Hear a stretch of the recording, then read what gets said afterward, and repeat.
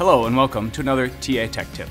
In this Tech Tip, we'll cover the automatic data acquisition in WinTest for ElectroForce test systems. As I open the waveform setup window, we can notice that there is now a data acquisition section to the right. There are two tabs in this section, one for time data and one for peak valley data acquisition.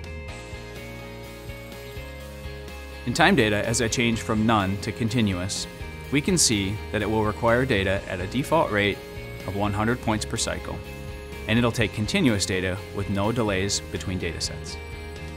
We can see that the test duration will be 16 minutes and 39 seconds. And based on the data settings, the estimated file size is 5.5 megabytes. As I change the frequency and or cycle count of the waveform, we'll notice that some of the data acquisition settings will change. Because I increase the number of cycles, the data file size increases to about 5 gigabytes. Since this is above 1 gigabyte, WinTest identifies this as a large file and highlights this red. This flags me to reconsider my data acquisition settings. Since this is such a long test, I will reduce the amount of data I'm collecting by adding a scan interval between each dataset.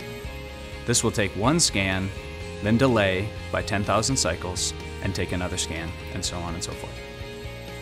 Peak Valley Data Acquisition has similar settings, and to reduce the number of data points I need to analyze later, I will add a scan interval here too.